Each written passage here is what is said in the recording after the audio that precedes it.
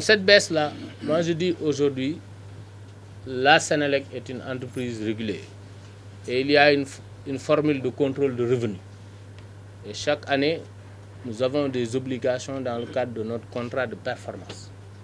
Je l'ai rappelé tout à l'heure, notre formule de revenus, les 70% sont liés au combustible. Comme vous le savez, vous avez observé les tendances ces dernières années, le combustible a augmenté. Ce qui fait que les ressources que Sénélec doit mobiliser pour satisfaire cette clientèle-là augmentent nécessairement.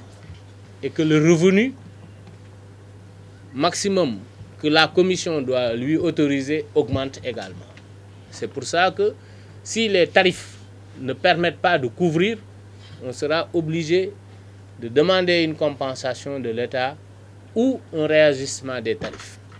Maintenant, lorsque ce poste important du revenu de Sénélec est bien maîtrisé, soit par une baisse de son coût, soit également par le gaz naturel qui pourra, qui pourra être utilisé. Et ça, aujourd'hui, nous sommes en train de travailler pour que toutes les centrales de Sénélec puissent être converties pour qu'à l'arrivée de ce gaz-là, on soit prêt.